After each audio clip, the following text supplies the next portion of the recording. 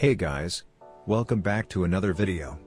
A common problem many users are facing is, Windows automatically remove or quarantines a software. Today, we are going to see how to exclude a folder in Windows Defender. So let's roll that intro.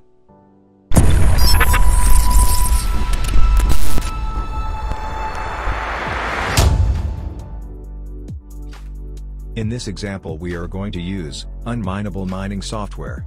unMineable is a crypto mining software which allow us to mine various cryptocurrency. If you would like mine crypto, check the video links in the description. So we are going to this website and download the software. It should start to download.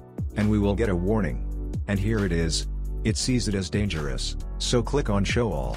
And in here, click keep dangerous file. So basically Windows identify mining software is dangerous or virus, because miner uses the system completely. So don't worry about the warning.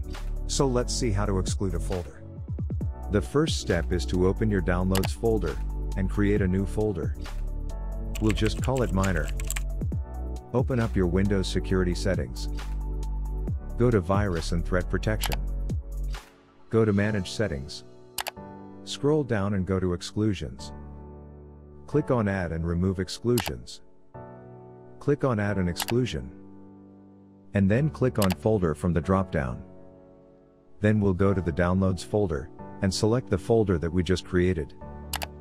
The next step is to download the software you prefer, I choose unMineable Miner. And then we'll go to our Download section, and click on the folder we just created. And click Save. Once downloaded, just open it up in the folder. And run the software.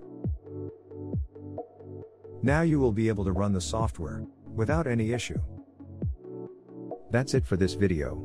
Hopefully you got this miner set up. Let us know what you think in the comment section. If you like the video, give it a like, subscribe, and we'll see you in the next one.